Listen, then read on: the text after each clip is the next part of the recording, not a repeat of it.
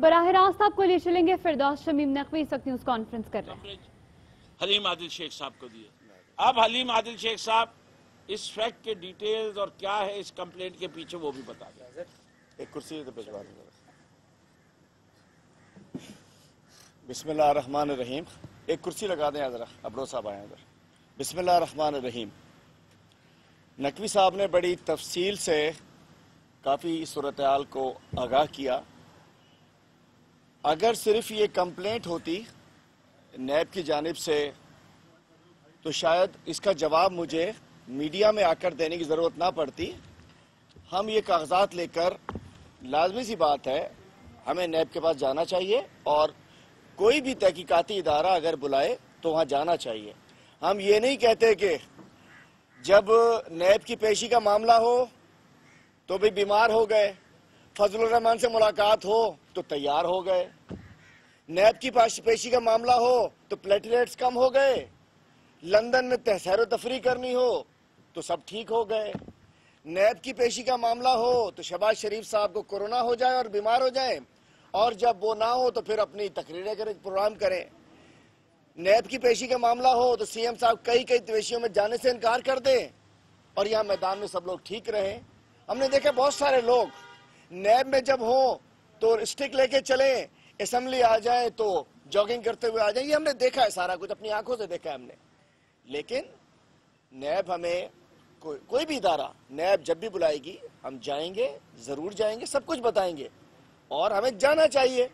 جیسے کہ sugar commission میں کال ہوئی، ہمارے بزدار صاحب ایز اے چیف منسٹر چلے جاتے ہیں۔ شوگر کمیشن میں بلایا گیا، اسد عمر صاحب، ہمارے جو اس وقت سب سے اہم ترین وزیر ہیں وہ خود جاتے ہیں، اپنی ایف آئی اے کے پاس جا کے سامنے بیانات دیتے ہیں۔ وزیر اعلیٰ سندھ کو بلایا گیا تو انہوں نے کہا، میں نہیں جا رہا شوگر کمیشن میں۔ تو یہ ایک ڈفرینس ہے، یہ فرق ہے۔ اور ہماری لیڈرشپ نے کہا ہے کہ اگر کوئی الزامات ہیں، ان کو اداروں کے سامنے جا کے اپنے آپ کو کلیئر کر۔ اب میں ذرا بیک گراؤنڈ پہ آتا ہوں کہ کل ہوا کیا تھا۔ دوبارہ بتاؤں لکھوی صاحب کی بات کو سیکنڈ کروں کہ اگر صرف نیب کی ایک ہوتی نوٹس ہوتا، ہمیں ابھی تک نوٹس بھی نہیں ہے انکوائری بھی نہیں ہے کمپلینٹ کوئی گئی ہے اس کی انہوں نے تفصیلات منگائی ہیں جو انہیں منگانی چاہیے۔ ہم جاتے ہیں اس میں لیکن کل جس انداز سے آپ لوگ جائیے گا اپنے جہاں سے بھی یہ پھیلایا گیا اور یہ سارا کچھ پیپلز پارٹی کا میڈیا سیل ان پیپرز کو چلاتا ہے ٹھیک ہے ایک نوٹس نکلا وہ چل جانا چاہیے تھا۔ نوٹس نکلا نیب کا۔ کمپلینٹ کے کمپلینٹ کے بحاف کے اوپر اور وہ ڈی سی صاحب کو اور اینٹی کرپشن کو۔ ساتھ جو الزامات بتائے جا رہے ہیں، میں کچھ اپنے سب سے نہیں بات کر رہا، ایک دو چینل سے کہوں گا، دو تین سے۔ انہوں نے کہا کہ جی منی لانڈرنگ چائنا کٹنگ تو براہ کرم جو کل نیب نے نوٹس نکالے ہیں، اس کے اندر اگر منی لانڈرنگ کا الزام بعد میں بھائی دیکھتے ہیں کیا ہوتا ہے۔ کل کے نوٹس میں اگر کوئی منی لانڈرنگ کا لفظ لکھا ہو، تو ذرا میڈیا سے کہوں گا کہ براہ کرم خود ہی ذرا اپنے پر غور کر لیجیے میں نہیں کرتا کس نے کہا۔ چائنا کٹنگ کا ذکر ہو، یہ ساری چیز، اب میں بتاتا چلو ہوا کیا؟ سب سے پہلے تو میں بتا دوں، آپ سب پرانے صحافی یہاں موجود ہیں۔ یہ جو جس لینڈ کا ذکر ہو رہا ہے نائنٹین نائنٹی ون میں چار ایکڑ زمین میں نے اپنے نام لی۔ میں نے اس کے اوپر لون لیا، میں نے اس پر پولٹری فارم لگایا، میں نے لون ری پے کیا۔ ایک ایک ڈاکومنٹ اس کا موجود ہے۔ نائنٹین نائنٹی ون میں۔ اس کے بعد یہ دو سو چھپن ایکڑ جو زمین حوالے کر دی، کہ ساری جہان کی کٹھی کر کے، میری صرف چار ایکڑ زمین جو میرے نام ہے باقی جس جس کی زمین ہے، جہاں تک مجھے معلومات، میں نہیں کہتا کہ جی میرا مجھے کچھ نہیں، مجھے معلوم ہے۔ اس کا بھی ایک ایک پیپر لیز ہے مطلب لیز لینڈز ہیں، جن کو کہ نائنٹی نائن کے لیے سندھ حکومت کو گورنمنٹ کو ریونیو ڈپارٹمنٹ کو اپلائی کیا گیا کہ جی نائنٹی نائن کر کے دی جائے فرق کیا ہوا؟ اور یہ تیرہ کیسز سندھ ہائی کورٹ میں موجود ہیں، چونکہ وہ لوگ تو نہیں آ سکتے جن کو انہوں نے سارے جہان کو فٹ کیا ہوا ہے۔ وہ لوگ تو میڈیا میں نہیں آ سکتے، چونکہ خبریں بھی صرف میری چلی ہیں۔ سارے جہان کا درد حلیم عادل شیخ کے جگر میں ڈال دیا انہوں نے۔ تو بتانا چاہتا ہوں کہ تیرہ کیسز ہیں اور اس اس کے ساتھ ہے کہ جی نائنٹی نائن کر دو، جو سرکار کا لینڈ گرانٹ پالیسی کے تحت آپ نے ہزار ہا ایکڑ زمین کراچی کی بانٹ دیا آپ نے۔ لوگوں کو نائنٹی نائن کر دی، جن کے پاس تھی بھی نہیں۔ تو بھائی ہم جو لوگ وہاں ایگزسٹنگ لیسیز ہیں، جو کاروبار کر رہے ہیں، جو پولٹری کر رہے ہیں، جو ڈیری ہے، آپ کو پتا ہوگا کراچی کے مضافات میں ہزاروں ایکڑ زمین لیز پہ دی جاتی تھی۔ چتیس، چالیس سال سے ایٹیز میں سٹارٹ ہوا تھا۔ Poultry farm, dairy farm, agriculture farms کے لیے اور اس کے اوپر مختلف کام ہو رہے ہیں۔ اب نائن دو ہزار آٹھ کے بعد کیا ہوتا ہے؟ ان کے دور میں سرکاری فیس ہم سب دینے کو تیار ہیں، جو سرکاری قیمت ہے۔ لیکن بھائی، بھتہ جو اوپر کمیشن ہے، جو سرکاری قیمت سے تین گنا زیادہ ہوتا تھا، ٹپی سے سٹارٹ ہوا اور پھر ریونیو ڈپارٹمنٹ سسٹم کے تحت چلتا رہا۔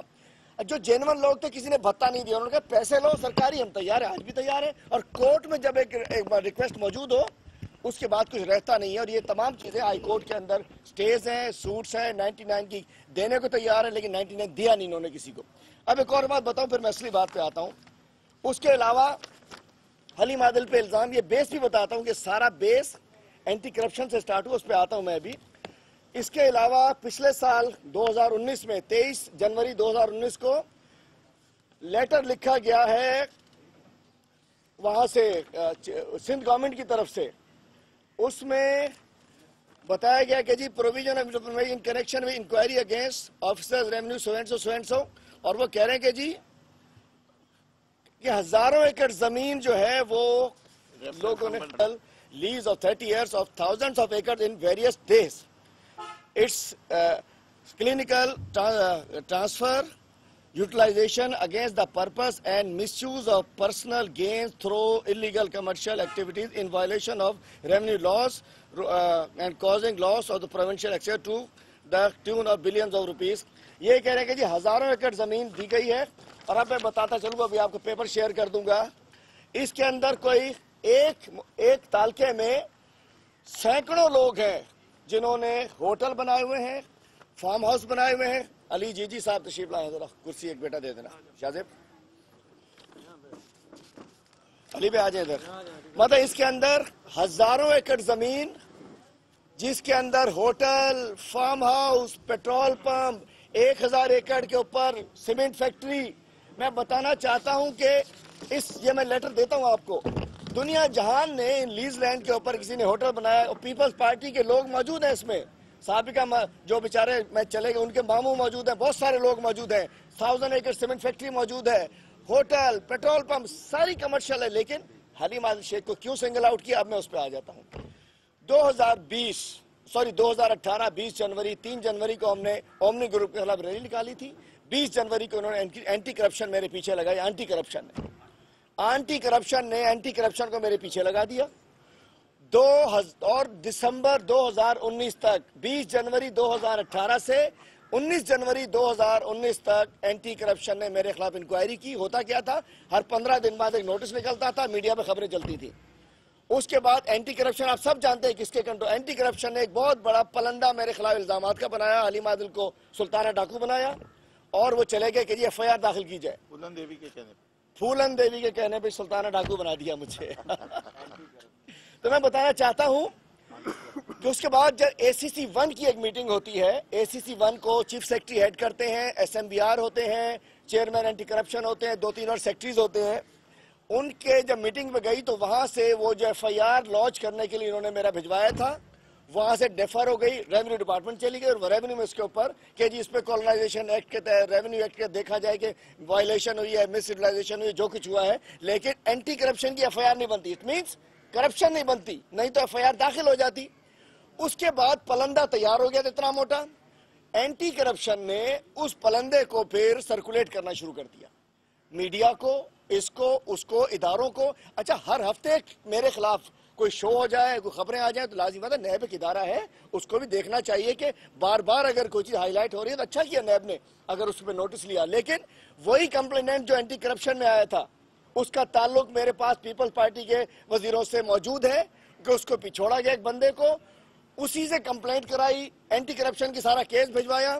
تو نیب نے اس کے اوپر، اس کمپلینٹ کی بیس پہ انفارمیشن مانگی اینٹی کرپشن سے بھی اور ڈی سی سے بھی۔ نیب کا الٹیمیٹلی جب ہمیں بلائیں گے ہم چلے جائیں گے۔ لیکن جیسا نقوی صاحب نے کہا کہ اس انفارمیشن اس کو جو انہوں نے تفصیلات مانگی اس کو کمپلینٹ کی بنیاد پر on the basis of complaint ٹھیک ہے، ہر سٹیج پہ ہم جانے کو تیار ہیں اور ابھی تک ہمیں نہیں بلایا۔ جب بلائیں گے، ہم پہلے جائیں گے ان کے بعد۔ ہم کہتے ہیں، ایک اور چیز کہتا ہوں، یہ تو بھاگتے ہیں، یہ تو بھاگتے ہیں کہ جی بیلز کرا کر آتے ہیں۔ بھائی، جب بلائے گی نیب ایک میسج کر دیں ہم جانے کو تیار ہیں۔ مراد علی شاہ صاحب، جانا چاہیے اداروں کے اندر۔ اور یہ بھی طے ہو گیا، جو کہتے تھے نیب سے گھر جوڑا تو نیب آزاد ادارہ ہے۔ نیب کسی کے کنٹرول میں نہیں ہے۔ نیب اتنا ہائپ بنا دیں گے اور ہائپ بنایا اینٹی کرپشن مطلب پیپے پیچھے پیپل پارٹی کے بندے اینٹی کرپشن کو یوز کیا اینٹی کرپشن سے رپورٹ میرے خلاف تیار کرائی گئی۔ اس اینٹی کرپشن کو ہاں اس رپورٹ کو سب میں سرکولیٹ کیا گیا۔ تو میں بتانا چاہتا ہوں، ہم تیار ہیں، لیکن کل جس طریقے سے میڈیا میں چلایا گیا منی لانڈرنگ تو بھائی نیب کا نوٹس ابھی آپ کو بھیجتا ہوں، اس کے اندر کہیں منی لانڈرنگ کا ذکر نہیں ہے۔ چائنا کٹنگ ارے بھائی چائنا کٹنگ شہروں میں ہوتی ہے۔ سینکڑوں ایکڑ زمینوں میں چائنا کٹنگ نہیں ہوتی۔ دوسری جانب یہ ہزاروں ایکڑ پہ لوگ مختلف کام کر رہے ہیں۔ کسی کو، کسی کے خلاف نہ اینٹی کرپشن نے رپورٹ بنائی، نہ کسی کے خلاف کیس بھیجا، نہ کسی کے لوگ میڈیا میں چلایا۔ آپ کو دیتا ہوں، یہ بھی بتائیے، ایک ہزاروں ایکڑ لوگ کیا کیا کر رہے ہیں وہاں؟ ٹھیک ہے؟ اور یہ نائنٹی نائنٹی کر کے دیا گیا۔ دوسری جانب، تو الحمدللہ ہمارا دامن صاف ہے۔ ہم نے آج میڈیا کے سامنے اپنے آپ کو پیش کیا ہے۔ نیب کے بلائیں گے وہیں جائیں گے لیکن یہاں ہم نے جو آج آئے ہیں میڈیا میں جس انداز سے کل سے میں چوبیس گھنٹے میں بھی سمجھ رہا تھا میں نے کیا کر دیا؟ تو الحمدللہ اگر اتنا میں ویک ہوتا ویک وکٹ پہ ہوتا تھا آپ سب جانتے ہیں تیس سال سے یہ فارمز موجود ہیں یہ زمین موجود ہے ہم یہاں کام کر رہے ہیں۔ تیس سال سے ہم یہاں موجود ہیں۔ الحمدللہ اچھا جی منی بیگم کا اکثر الزام لگاتے ہیں۔ الحمدللہ منی بیگم بقید حیات ہیں۔ منی بیگم سے گو کہ ڈائریکٹلی میں نے کچھ نہیں لیا، لیکن ہمارے کزن کے انہوں نے زمین بیچی تو منی بیگم بقید حیات ہیں۔ بھائی پوچھ لو منی بیگم سے۔ اور جس شخص کی جو اچھا ہم پہ جو میں نے بتایا کہ ہائی کورٹ جو جس نے الزامات لگوائے، اس شخص کے خلاف سیشن کورٹ ہائی کورٹ سارے کورٹ فیصلے دے چکے ہیں کہ انہوں نے زمین بیچی تھی اور جھوٹے تھے۔ تو ہمارے الحمدللہ ہاتھ صاف ہے۔ اب میں آتا ہوں۔ جے I T J I T بھی۔ میں آج عزیر بلوچ تو سب ذکر کر رہے ہیں۔ نثار مرائی کو بند کر دیا گیا، ذوالفقار مرزا پہ لا کے لاک کر دیا گیا ہے۔ آج فشریز کی صورتحال نثار مرائی کی سے زیادہ خطرناک ہے۔ نیا جو چیئرمین فشریز لگا، آپ سب جانتے ہیں کہ کس کس کا وہ بندہ تھا۔ اور اس نے آتے ہی اڑتالیس کروڑ پہلے چار مہینے میں فشریز کے اکاؤنٹ سے نکالے۔ فشریز کا اس وقت چیئرمین ختم ہو چکا ہے اللیگلی وہاں بیٹھا ہوا ہے۔ اس تین سال کے اندر ساٹھ کروڑ تقریباً جو ہے وہ سالانہ اس کی ریکوریز ہوتی ہیں۔ ایک ارب اسی کروڑ فشریز کے اندر آیا ہے جو کہ کرپشن نظر ہو چکا ہے۔ فشریز میں غریب جو اس کے لیے الگ ایک پریس کانفرنس کریں گے تو میں کہتا ہوں جے آئی ٹی کو۔ جیسا ہم نے کہا کہ اس کے اوپر جوڈیشل کمیشن بننا چاہیے، تو فشریز میں پچیس فیصد کمیشن کرپشن میں چھٹا تھا، آج ہنڈریڈ پرسنٹ کرپشن ہو رہی ہے۔ مائنس میں مائنس ڈپارٹمنٹ میں سینکڑوں لیزز دی گئی ہیں۔ پچھلے دنوں سینکڑوں لیزز مائنس میں ٹھٹھا میں، جامشوروں میں دی گئی ہیں اور ایک ایک لیز ہولڈر سے بیس بیس لاکھ روپے لیے گئے ہیں۔ ایک ایک میٹنگ میں دو دو سو لیز نقوی صاحب دی گئی ہیں۔